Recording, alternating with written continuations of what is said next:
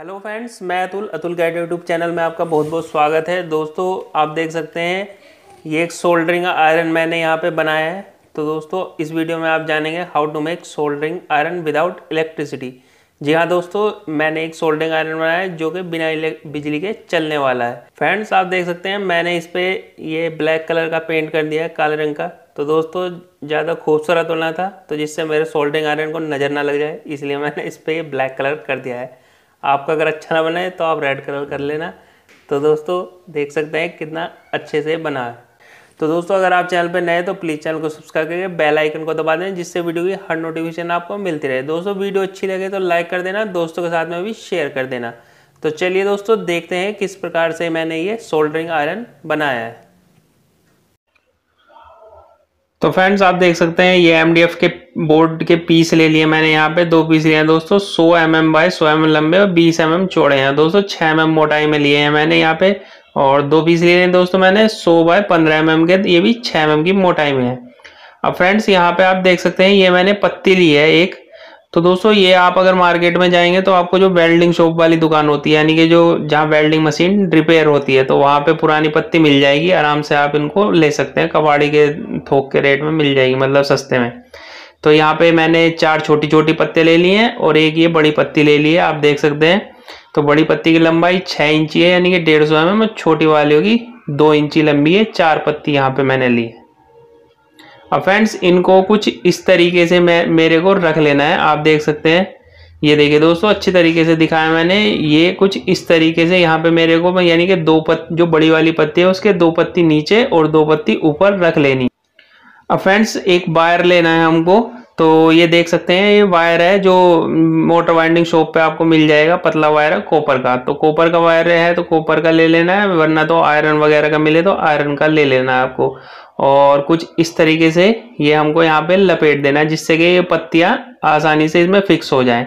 तो फ्रेंड्स ये पत्तियाँ मैं क्यों लगा रहा हूँ? वीडियो में बने रहिएगा, आपको फुल नॉलेज मिलेगी। ये पत्तियाँ मैं क्यों लगा रहा हूँ? आगे मैं आपको इसका रीजन भी बताऊँगा। तो वीडियो प्लीज़ दोस्तों, आपसे रिक्वेस्ट है, पूरा देखिएगा। क्योंकि दोस्तों, मैं आपको फुल वैल्यू प्रोवाइड करने की कोशिश करता हूँ यहाँ पे कि, और नई नई चीज़ें कि जिससे कि आप उनको इम्प्लीमेंट करके खुद भी बना सके आसानी से। तो दोस्तों, जो एम डी एफ़ बोर्ड था तो ये मैंने यहाँ पे ले लिया है और कुछ इस तरीके से यहाँ पे मार्किंग मैंने कर ली है। अब फ्रेंड्स ये जो मैंने मार्किंग की थी तो इस पर ये मैं कुछ होल कर लूँगा। आप देख सकते हैं तो ये मैंने मार्किंग कर लिया। दोस्तों छः होल किए हैं मैंने छः होल के मार्किंग की है मैंने, आप देख सकते हैं। अब फ्रेंड्स ड्रिल मशीन की मदद से मैंने यहाँ पे ऊपर नीचे रख के इनमें ये छः होल कर लिए हैं। तो दोस्तों, अब एम डी बोर्ड कन्फ्यूज़ हो जाएगा कि सांस कहाँ से लें और आगे आप समझदार हो, खुद ही समझ सकते हो। चलिए मज़ाक था। कोई बात नहीं। तो दोस्तों अपने टॉपिक पर आते हैं। तो ये जो मैंने होल किए हैं यहाँ पे, जो सुराख किए हैं तो इसमें कुछ इस तरीके से आप देख सकते हैं। मैं जो कॉपर का वायर पतला सा जो मैंने लिया था तो उसी तरीके से इसको यहाँ पे बाँध देना है। दोस्तों, ये काफ़ी अच्छे से बांधना है मजबूती से, क्योंकि जब ये गर्म होगा तो यहाँ पे लूज हो सकता है। तो आपको अच्छे तरीके से बांधना है। फ्रेंड्स, आपसे एक रिक्वेस्ट है। अगर आपको वीडियो अच्छी लग रही है तो प्लीज़ लाइक कर देना चैनल को भी सब्सक्राइब कर देना और अपने दोस्तों के साथ में भी इस वीडियो को शेयर कर देना, जिससे कि उन्हें भी ये वीडियो की नॉलेज पूरी पूरी मिल सके। तो दोस्तों, आप देख सकते हैं, मैंने इसको बाँध के और यहाँ पर कंप्लीट कर लिया है। अब फ्रेंड्स, जो हमने 100 बाय 15 एम की जो पत्ती ली थी तो उसको साइड में लगा लेते हैं यहाँ पे। तो ये मैंने स्टैंड ग्लू ले लिए फाइव ग्लू ले लिए इजीली अवेलेबल हो जाती है मार्केट में। तो आप देख सकते हैं, ये लगा लिए एक तरफ़ की और दूसरी तरफ़ की भी मैं यहाँ पे लगा लूँगा। तो फ्रेंड्स आप देख सकते हैं कि ये हमारा कंप्लीट हो चुका है। तो दोस्तों, अभी ये देखने में थोड़ा अच्छा नहीं लग रहा है तो इस पर मैं थोड़ा सा पेंट कर लेता हूँ। तो दोस्तों पेंट वैसे अगर आपके पास में हो तो कर सकते हैं, नहीं हो तो कोई दिक्कत नहीं है। बस जरा ये है कि देखने में थोड़ा सा अच्छा लगेगा। तो ये देख सकते हैं मैंने ब्लैक कलर का मेरे पास में पेंट था। वैसे दोस्तों, काफ़ी सस्ता आता है ये ये स्प्रे पेंट का डिब्बा। ये मेरे को तीस रुपए का मिला था दोस्तों और काफ़ी टाइम पहले लिया था मैंने। तो आप भी मार्केट से परचेज कर सकते हैं इसको। तो फ्रेंड्स आप देख सकते हैं कि पेंट करने के बाद में सूख चुका है और कुछ देखने में थोड़ा सा अच्छा लग रहा है। मतलब थोड़ा सा अच्छा लग रहा है दोस्तों, ज़्यादा अच्छा नहीं लग रहा। लेकिन ये काम मेरे यकीन मानिए, एकदम परफेक्ट करेगा, बहुत अच्छे तरीके से काम करेगा ये। तो फ्रेंड्स अब हमें इसकी टिप बनानी पड़ेगी, जैसे कि हमारी सोल्डरिंग आयरन की आती है, क्योंकि उसके बिना ये काम नहीं करेगा। तो मैंने रेग माल से रगड़ रगड़ के, और आप देख सकते हैं कुछ इस तरीके से इसकी चोंच बना ली है। दोस्तों मार्केट से भी अगर आप सोल्डरिंग आयरन लेते हैं तो उसकी चोंच इस तरह की आती है, क्योंकि थोड़ा सा सरफेस होना चाहिए, जिस पे कि हम सोल्डरिंग जो हमारा वायर है, वो लग सके। तो दोस्तों, ये मैंने कंप्लीट कर लिया है, और अब इसकी बारी आ गई है टेस्टिंग की।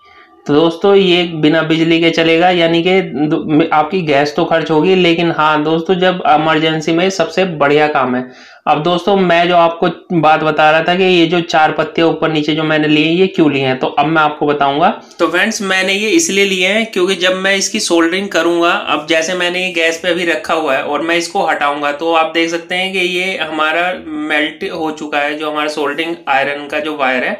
तो दोस्तों, जब मैं इसको हटाऊँगा तो ये पत्तियाँ एनर्जी को स्टोर करके रखेंगी, यानी कि इस ये जो पत्ती है, इसको ज़्यादा से ज़्यादा देर तक गर्म करके रखेंगी, जिससे कि हमको इसका गैस से हटाने के बाद भी हम इसका काम अच्छे से कर सकते हैं। ऐसा नहीं है कि जैसे ही हमने इसका गैस से हटाया, सिर्फ़ एक हमने टाका लगाया और उसके बाद ये फिर से ठंडा हो गया। तो दोस्तों, थोड़ी देर तक ये गर्म ही रहना चाहिए। तो इसीलिए मैंने इस पर चार पत्तियाँ लगाई हैं, जिससे कि एनर्जी ज़्यादा देर तक स्टोर करके रख सके। तो दोस्तों, ये मैंने आपको तार तार पे मैंने फ्लक्स लगा लिया है और आप देख सकते हैं कि ये एकदम अच्छे तरीके से जैसे हमारा मार्केट से लाया हुआ इलेक्ट्रिक वाला जो सोल्डरिंग आयरन होता है वो काम करता है। तो ऐसे ही ये भी काम कर रहा है। तो दोस्तों, देखिए कितनी देर हो चुकी है मुझे इसे गैस से हटाए हुए और अभी तक भी ये गर्म है और हमारा अच्छे तरीके से काम कर रहा है। तो ये मैंने यहाँ पे वायर ले लिए थे जो, जिससे मैंने इन पे पेज लगाया था और ये देख सकते हैं, हमारे वायर एकदम अच्छे तरीके से सोल्डिंग हो चुके हैं। दोस्तों, काफ़ी मजबूती के साथ ये, इनमें सोल्डिंग हुई है। देखिए, मैं इसको खींच भी रहा हूँ तो दोस्तों, टूट नहीं रहा है। काफ़ी मजबूती है जहाँ पे जोड़ लगा है। अब फ्रेंड्स मैं आपको और थोड़ी सी टेस्टिंग करके दिखा देता हूँ। तो ये मैंने मोटर ले ली है। ये जो डीसी की सेवन सेवन फाइव मोटर है, बारह वोल्ट की। तो देखिए, मैं डिसोल्डरिंग करके दिखाऊँगा। तो जैसे मैंने लगाया, एकदम से हमारा ये वायर यहाँ से हट चुका है। अब मैं इसको दोबारा से सोल्डरिंग आपको करके दिखा देता हूँ। तो ये देखिए दोस्तों, जैसा मैंने हटाया था और ये लगा दिया है यहाँ पे। तो दोस्तों परफेक्ट काम कर रहा है हमारा। जब आपके पास में बिजली ना हो तो बहुत अच्छे तरीके से काम कर सकता है। दोस्तों, अगर आपके पास में गैस नहीं है तो जो लैंप होती है उसकी लो से भी आप इसको गर्म करके अपने यूज़ में ले सकते हो। तो फ्रेंड्स मैंने यहाँ पे आपको पूरा कंप्लीट तरीके से बता दिया कि आप बिना बिजली के सोल्डरिंग आयरन किस तरीके से बना सकते हो यानी कि सोल्डरिंग आयरन विदाउट इलेक्ट्रिसिटी तो दोस्तों वीडियो अगर आपको अच्छी लगी हो तो प्लीज़ लाइक कर देना। चैनल पे अगर आप नए हैं तो चैनल को सब्सक्राइब करके बेल आइकन को दबा देना जिससे वीडियो की हर नोटिफिकेशन आपको मिलती रहे। अगर आप इस तरीके की वीडियो की आपके किसी के फ्रेंड को ज़रूरत है तो वहाँ पे भी शेयर कर सकते हैं, जिससे कि वो वीडियो का पूरा फ़ायदा उठा सकें। तो मिलते हैं नेक्स्ट वीडियो में। Bye bye friends